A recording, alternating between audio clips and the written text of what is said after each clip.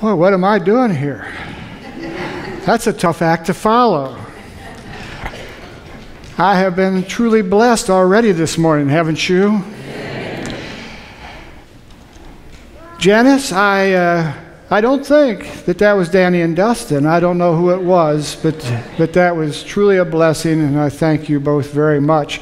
And it was also a blessing having second special music with Beth and her two daughters up here this morning, Donalisa and Gail. So that was just wonderful. Now, for our visitors, I'm not the one that normally stands up here. When Pastor Charles asked me to take this Sabbath, uh, I told him I would after I went to my knees. Had to see if the Lord had a message that I could share with you.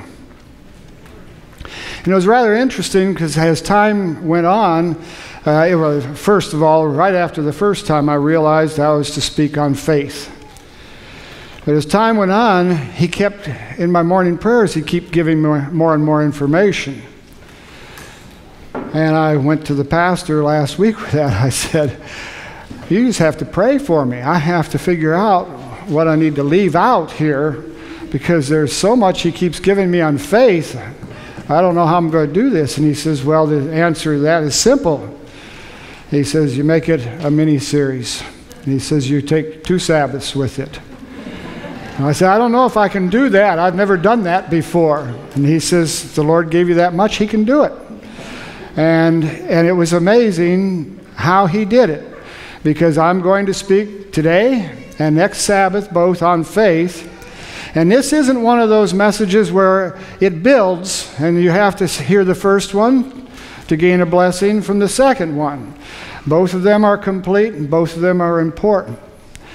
So if you aren't going to be here next week, you don't have to worry about it. And I'm pleased that there are so many here today to hear this message. One of the things I did in researching this message was look at some of the surveys about Christianity in the world today. And it was interesting to me because I had done that before in years past. And I don't know whether you're aware of it, but 83% of Americans today profess to be Christians. And when I read that, I say, where are they hiding? Because you don't see it reflected in the lives you run into, do you? But what's interesting in that is it's down from it was about 10 years ago when 87% professed to be Christians. Another one of the, the uh, statistics that I find fascinating if 83% of the people out there are Christians, then why do only 57% believe in the devil? We as a church believe in the great controversy. So we see there is a battle going on between Christ and Satan. What do these people see? And as I pondered over the diversity in those percentages, I said, there can only be two reasons that I came up with. And one is that there are many ministers out there that aren't preaching the Word of God. And there's people just hearing them and believing whatever they preach. And we know that many of the evangelical churches today, all they preach is love. And we know that there's more to it than that. But then again, what's wrong with the people? If they don't believe in Jesus, I mean, excuse me, in, in the devil, are they looking at any of this? Because everywhere I turn, I find Satan in this book, causing trouble.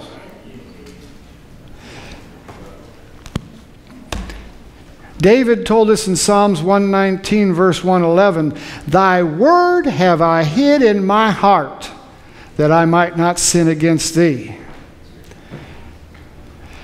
The problem is, too many are not hiding that word in their heart. Our scripture this morning that Josephine brought to you, Hebrews 11, verse 6, but without faith it is what? Impossible to please him. For he that cometh to God must believe that he is, and that he is a rewarder of them that what? Diligently seek him.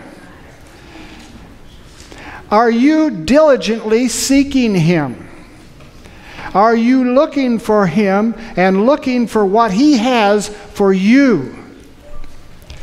And I don't believe that, that many of you are.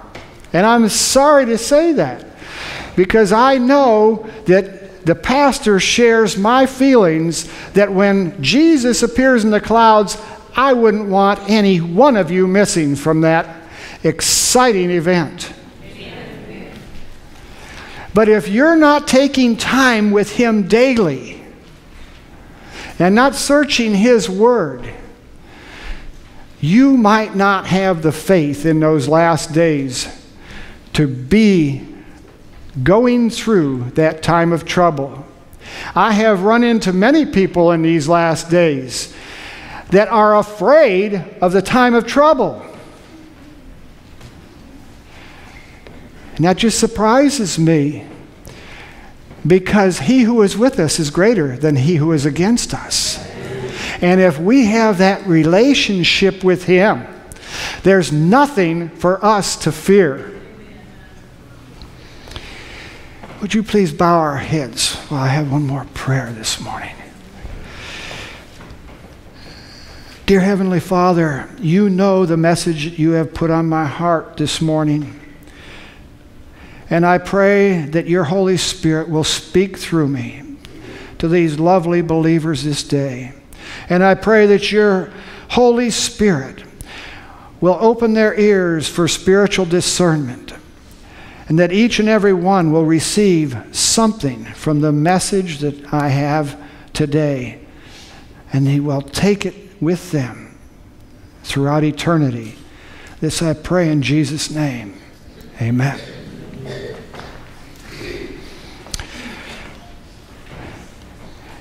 Where can we gain faith? Turn to the second book of the Bible, Exodus chapter 14 please. I'm going to take you back 3,460 years ago. Israel had been in slavery for about 400 years. Moses had been born.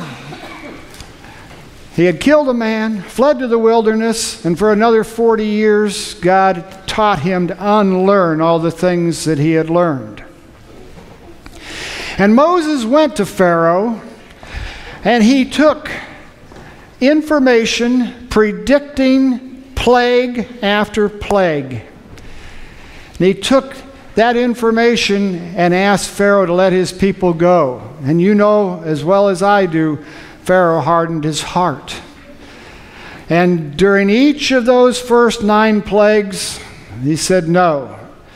And when Moses appeared to him that tenth time and told him, Unless you paint blood on your doorposts and lintels with hyssop from a sacrificed animal, your firstborn son is going to die. And Pharaoh told him, Get out of here. The next time I see you, your life is going to be forfeit. But we know what happened. The Israelites listened to that counsel, and they had the first event of what we call Passover, and they painted that blood on there. And no one went out when that angel of death came over. And Pharaoh lost his own firstborn son. And he called Moses to him and said, Take your people and go. Get out of my sight. And they went. But then he got his wits about him after the fact. And he said, No, this can't be. So he brought his armies together, all of his horsemen and his chariots and his foot soldiers, and they took off after those Israelites. And Israel found themselves with their back to the Red Sea and the Egyptians coming upon them. Look at verse 9 of Exodus 14 with me, will you? But the Egyptians pursued after them all the horses and chariots of Pharaoh and his horsemen and his army, and overtook them encamping by the sea beside Pi-hahiroth before Baal Zephon. And when Pharaoh drew nigh, the children of Israel lifted up their eyes, and behold, the Egyptians marched after them, and they were sore afraid. And the children of Israel cried out unto the Lord. And they said unto Moses, Because there were no graves in Egypt, hast thou taken us away to die in the wilderness? Wherefore hast thou dealt thus with us to carry us forth out of Egypt? Is not this the word that we did tell thee in Egypt, saying, Let us alone, that we may serve the Egyptians? For it had been better for us to serve the Egyptians than we should die in the wilderness. Is there faith there? Had they had any reason for faith? They had seen those ten plagues. They had seen their firstborn children saved during those ten plagues. They had reason for faith. But what did they have? They had fear. And how does Moses react to this? Verse 13 And Moses said unto the people, Fear ye not, stand still and see the salvation of the Lord, which he will show you this day. For the Egyptians whom ye have seen today, ye shall see them again no more forever. Now look at the next verse. The Lord shall fight for you, and ye shall hold your peace. And we know the story then, don't we? And if any of you have ever seen the Ten Commandments, where Cecil B. DeMille tried to reenact it, Moses raises his hand, and the Lord parted the Red Sea. Now, I don't know about you, but I know when water comes out, what's left behind is muck and mire. But we're told they didn't walk through muck and mire. That seabed was dry, and they passed through on dry ground. God did that for them. And He will do the same for each and every one of us with faith. Now, they didn't have the faith, so how did this come about? Moses had faith. And that's all that mattered, and God was delivering his people.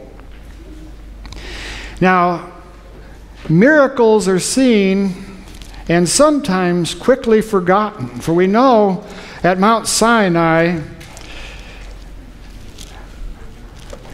Moses goes up on the mount and he goes up there for 40 days, and the people, what do they do again? They'd seen the 10 plagues, they'd seen the Red Sea parted, but they lost faith again, didn't they? And they had Aaron make them a golden calf. And in, in Deuteronomy 9, verse 14, and you don't have to turn there with me, we're just going to be there a moment. Deuteronomy 9, verse 14, God says, Let me alone that I may destroy them that blot out their name from under heaven, and I will make of thee a nation mightier and greater, greater than they. Moses doesn't let him do it, does he? He says, No. You brought them out. That's going to bring disgrace to you.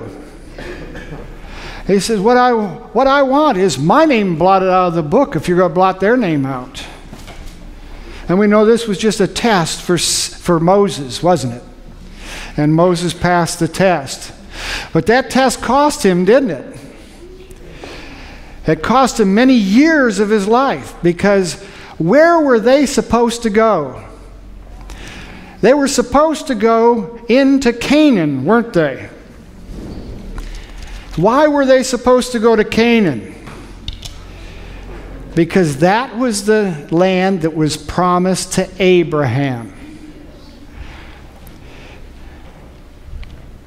Why didn't they march into Canaan? Because once again, lack of faith.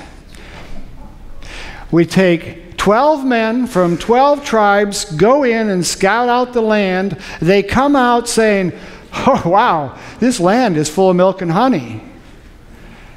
But I can't, uh, I can't see how we could ever, you know, take over in this place. They're too strong for us. And only two of the ten said, Yes, we can Joshua and Caleb. But because of the unbelief of those ten was so infectious that it spread throughout the camp, God says, You're not going in.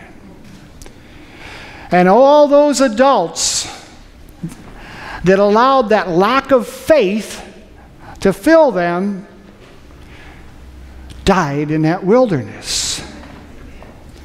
And unfortunately, because of Moses' temper, he wound up dying before he could enter Canaan as well. Are we preparing to enter the heavenly Canaan? Do we have the faith that we need for that? If we're not into His Word and we're not experimenting with our relationship with Him, we may, may not be to that point. In Joshua 1, verse 9, God says to Joshua, Have not I commanded thee, be strong and of good courage, be not afraid, neither be thou dismayed, for the Lord thy God is with thee whithersoever thou goest. And God prepared Joshua for that first battle in going into uh, having a, having a uh, senior moment here. What? Jericho. Now, how far is Jericho from Jordan? The Jordan River is only about five miles away. And we know that Joshua sent two more spies in to check out the land, and that Rahab the harlot protected them, correct? And so they come back out, and through the, the, the dialogue of Rahab, we know that the people in Jericho were already frightened. And I, I would say so, because across the river from them, merely five miles away, were over 1.5 million people. That's bigger than Fort Worth. So they had a reason to be fearful. And I'm sure that there were people watching to see what those Israelites were going to do. And can't you, wouldn't you just love to have been there? When Joshua sent the priests out in front of the army with the ark on it. And those priests started walking toward that river, which was in flood state. And when their toes touched the breach of the river, go with me to Joshua 3, verse 15. Joshua 3, verse 15. And as they that bear the ark were come unto Jordan, and the feet of the priests that bear the ark were dipped from the brim of the water, for Jordan overfloweth all his banks all the time of harvest. That the waters which came down from above stood and rose up and heaped very far from the city, Adam, that is beside Zaretan. And those that came down toward the sea of the plain, even the salt sea, failed and were cut off. And the people passed over right against Jericho. And the priests that bear the ark of the covenant of the Lord stood firm on dry ground in the midst of the Jordan, and all the Israelites passed over on dry ground until the people were passed clean over Jordan. What a sight! Second time they cross a big body of water. And I can't even imagine what it looks like to see water coming down a river and just piling up in a heap. Can you? But our God can defy all the laws of physics. And all we need is a little faith. Just a little faith. Now, as we go to Jericho, turn to Joshua chapter 6. Joshua chapter 6. God gave Joshua instructions. You go into Jericho and you put those priests out front with those ram horns as trumpets and you march around that city. Once a day with the army ah, following behind. But the army's to be silent. No noise. Just walk around. Imagine, if you will, what those inhabitants felt when they saw this happen day after day. Then his instructions were different. About the seventh day, they were supposed to do it seven times. And this time, no trumpets, until the seventh time, and then when the trumpets blow, the shout goes up, and the wall comes down, and they march in. Go with me to Joshua 6, verse 15. Let's look at that seventh day. And it came to pass on the seventh day that they rose early about the dawning of the day and compassed the city after the same manner seven times. Only on that day they compassed the city seven times. And it came to pass at the seventh time when the priests blew with the trumpets, Joshua said unto the people, Shout, for the Lord hath given you the city. And the city shall be accursed even it and all that are therein to the Lord. Only Rahab the harlot shall live, she and all that are in her house, uh, with her in her, the house, because she hid the messengers that we sent. And ye in any wise keep yourselves from the accursed thing, lest ye make yourselves accursed when ye take the accursed thing that make the camp of Israel a curse and trouble it. But all the silver and gold and vessels of brass and iron are consecrated unto the Lord. They shall come into the treasury of the Lord. So the people shouted when the priests blew the trumpets, and it came to pass when the people heard the sound of the trumpet, and the people shouted with a great shout that the wall fell down flat, so that people went up into the city, every man straight before him, and they took the city, and they utterly destroyed all that was in the city, both man and woman, young and old, and ox, and sheep and ass, with the edge of the sword.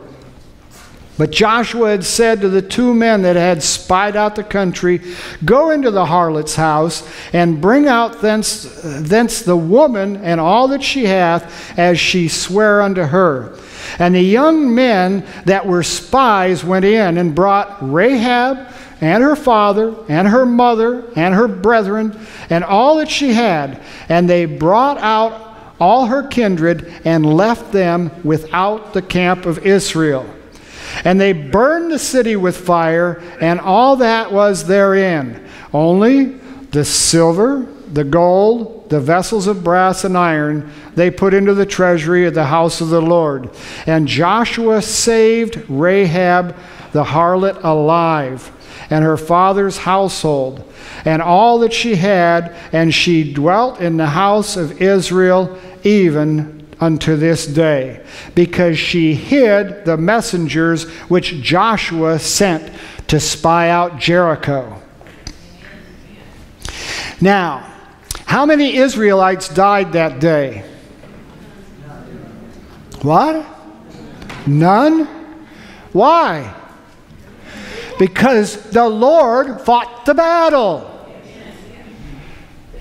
Are you aware that archaeologists, when they found Israel, they found the walls flat except one segment? Now, what do you think would have been in that segment? Rahab's house.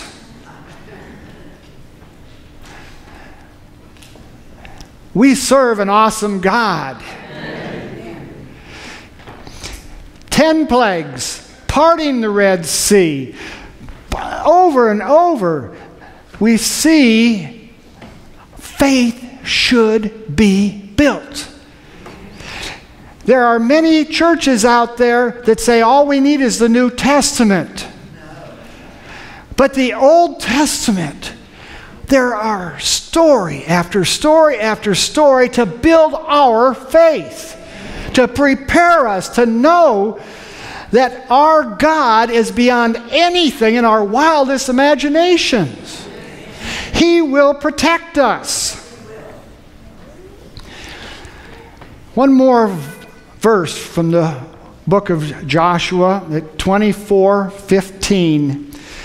And if it seem evil unto you to serve the Lord, choose you this day whom ye will serve, whether the gods, lowercase g, of your fathers served that were on the other side of the flood, or the gods of the Amorites in whose land ye dwell. But as for me and my house, we will what? Serve, serve the Lord. Now, what I'm asking you this morning is are you serving the Lord? Or are you one of those people that just says, I'll go to church on Sabbath morning? Because I have to say, I wonder about some of you. And the reason I say that is because look how full this sanctuary is now. But during Sabbath school, many of you weren't here. What are you studying if you don't study your Sabbath school lesson? How much are you digging into God's Word? Is there anyone out there who would like to raise their hand and tell me what extracurricular study they were doing this past week, this past month, or whenever? I don't see hands. Okay, she's Donna's studying the book of Acts. I wish every hand went up to, so you could tell me what you were studying. Because we need to be building our faith, brothers and sisters. And His Word is the source of our faith. His Word is the only absolute truth that we find in this relativistic society we live in. This Word is the one that tells, hopefully, every one of us in this room that Satan is real. That we don't see that difference that we see out there in the world today. That we are following him.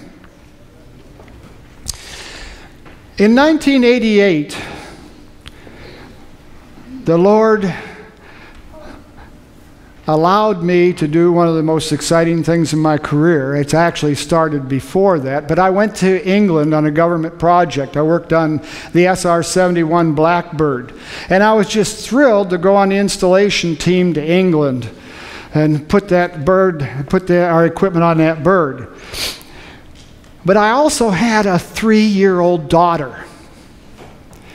And she had been in cradle roll ever since she was six days old. We started taking her to cradle roll. And she loved cradle roll. When we got over there, we started searching for a church to take her to. And many of you have probably heard of uh, the city over there, Cambridge. And it's a big college city, and I thought uh, in Cambridge they'd uh, bound to have a nice church. Well, we found the church on a little back street, very narrow street. And the pastor welcomed us at the door, and we asked about the cradle roll for our daughter, and uh, we, we don't have cradle roll here. But my wife will babysit her while you go on to your Sabbath school class. And I thought, what's going on here? And we searched. We went to many cities in, in that portion of England looking for a church that was vibrant as this one is, where we have all these children. We could have a school and they were growing. But we found that the church over there wasn't growing. And most of the congregations were as old as I am now or older. And I thought, this just isn't right. And one day I was going into the post office on base, and I walked past the bulletin board and I saw an advertisement for our Bible storybooks. Ah, someone cares about our children. And I looked the gentleman up, and he told me sad stories about what was going on in England. And they were going very, very liberal in many of the areas over there, and they weren't following the spirit of prophecy. That's just unnecessary. They didn't believe in Ellen G. White, and that saddened me. But I found out about this independent ministry over there called Gaisley, and once a quarter they would have tent meetings there, and they would bring people over from Australia and the United States and other areas to speak in their tent meetings. Matter of fact, that's where I first met a gentleman that many of you heard of called Ty Gibson. And he's from Light Bearers Ministries. He's going to be here this spring with ASI, so I hope to renew my acquaintance with him as I got to know the people in this ministry, I ran into an elderly gentleman there. Well, not elderly. To me, he was elderly at the time, but he was probably no more than I am now. And he was about a head shorter than I am, and about 50 pounds lighter than I was, and very meek, mild mannered. His name was Roy. He was a great guy. And we were down there one time and I found out that he was getting ready to go back to the Netherlands. He had to do some business back there. And we wished him Godspeed, and all he was taking with him was a backpack. Well, about a week later, I heard that he was back, and the next time I saw him, I said, Well, how did the trip go? And he says, Very eventful. The capital of the Netherlands is Den Haag. And he was walking down a street in Den Haag late in the evening. The street was mostly abandoned when he was jumped on by three men. They didn't know what he had, and knowing Roy, all he had was a change of clothes and some toiletries and his Bible in that backpack. Now, that's, that that's not much to cling to. But Roy felt differently about it. And he wrapped his arms around the straps. And fortunate for him, these men weren't wielding knives or guns, they were just beating on him. Many people in the world will cry, Help, police! Roy didn't. Roy said, Dear God, help me. And within a couple seconds, the pummeling ceased. And Roy looked up, and all three men were looking in one direction with frightened faces. And they turned and ran in the other direction. Roy watched them, and then he looked where they had been looking. He saw nothing but an abandoned street.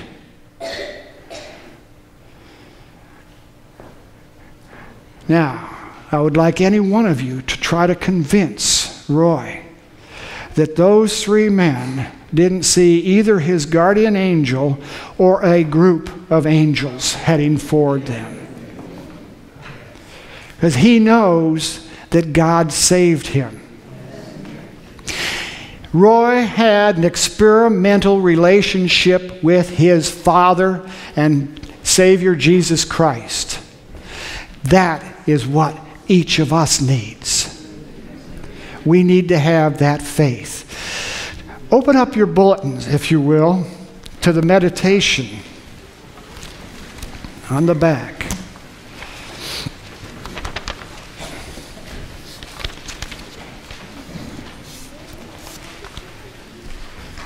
This comes from Review and Herald, September 21st, 1886, paragraph 10. It is the privilege of all who comply with the conditions to have an experimental faith, to know for themselves that pardon is freely extended to every sin.